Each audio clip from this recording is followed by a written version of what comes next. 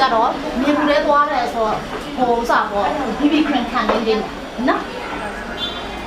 ရှိရ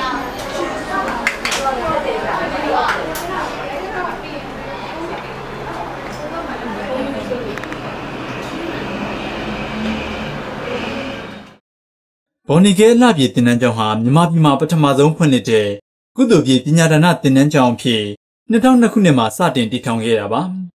အသက်14နှစ်ကနေအသက်50အတွင်းကအလှပရေးရာစိတ်ဝင်စားတဲ့အမျိုးသမီးတွေတက်ရောက်နိုင်မှာလည်းဖြစ်ပါတယ်တင်နန်းတက်သူတွေကတင်ထောက်ကူပစ္စည်းဝယ်ယူဖို့မလိုပဲအထွေထွေအသုံးစရိတ်ဖြစ်နေ362,000သာပေးသွင်းရမှာပါဒီလိုတင်နန်းမျိုးဟာအမျိုးသမီးတွေယုံကြည်ချက်ရှိရှိနဲ့ကိုချီတော့ဖို့ကိုရက်တည်နိုင်စေဖို့တွန်းအားတည့်ရဖြစ်စေသလိုအလှပြင်နာတွေအပြင်မျက်ခုံးတက်တူးထိုးတာမျိုးတွေပါဆက်လက်တင် जा ပေးဖို့ရှိနေပါတယ်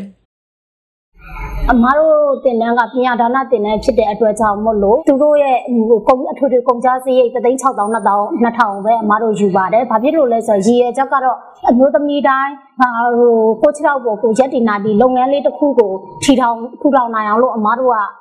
ဒီ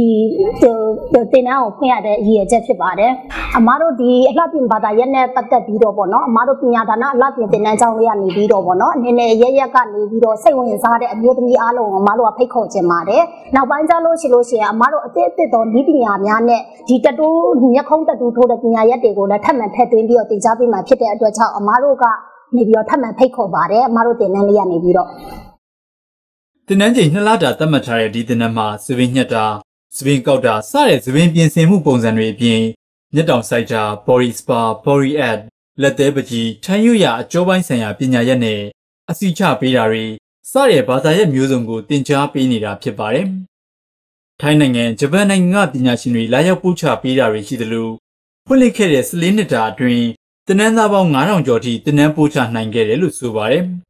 တက်ကြီးမြို့နယ်ကမက်ပြစ်ပြစ်ဖြိုးကလည်း ကိုဘွားကိုရက်တည်နိုင်ဖို့အတွက်ဒီတင်နန်းကိုလာရောက်ခဲ့တဲ့အကြောင်းခုလိုပြောပြပါဗျ။မိန်းကလေးတိုင်းပေါ့နော်ဒီမှာတက်တဲ့နယ်လို့ထင်တယ်မိန်းကလေးတိုင်းကလည်းစိတ်ဝင်စားတယ်အဲ့ခါကျတော့ကျမတို့ဘယ်နေရာကိုသွားသွားနယ်နှံ့ပဲပေါ့နော်ကျမတို့တိုက်ကြီးမြို့မှာပဲဒီလှပြင်ဆိုင်ပြန်ဖွင့်ဖွင့်ဘယ်နယ်ကိုပဲကျမသွားသွားဒီအနုဒီပေါ့အသက်မွေးဝမ်းကြောင်းပညာတရားကိုကျမတက်ထားတဲ့အတွက်ဘယ်နယ်ကိုသွားသွားကိုယ့်အနေနဲ့ကိုယ့်ပိုင်ကိုရက်တည်ပြီးတော့ကိုယ်ဝင်းစာကိုလည်းကိုရှာနိုင်တယ်မျိုးသမီးတယောက်အနေနဲ့ကိုယ့်ဘွားကိုကိုယ့်ပိုင်ကိုရက်တည်နိုင်တယ်လို့ကျမအနေနဲ့ကတော့ထင်ပါတယ်